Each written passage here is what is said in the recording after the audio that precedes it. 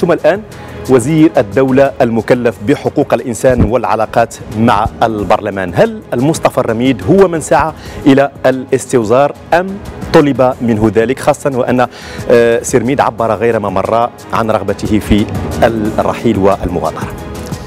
بسم الله الرحمن الرحيم. شكرا لكم يوسف وشكرا لهذه القناة الرائدة على هذه الاستضافة.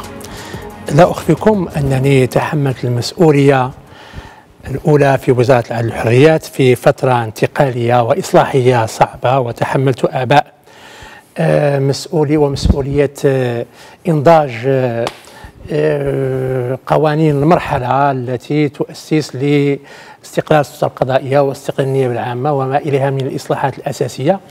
وقد واجهت يعني فئات وواجهت مشاكل مما أتعبني وأقنعني بأنني ينبغي بعد هذه المرحلة أن أرود بالراحة.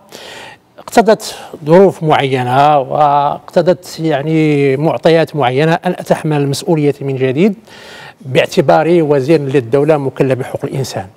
لا أخفيكم أنني أيضا في هذه المرحلة كنت أتمنى وقد بلغت ذلك للسيد رئيس الحكومة أن أغادر الحكومة لكن أيضا في هذه المرحلة اقتضت معطيات لا مجال للخوض في تفاصيلها بأن أتحمل المسؤولية من جديد وقد أتحملتها وأرجو الله تعالى أن يوفقني على تحمل أعبائها الثقيلة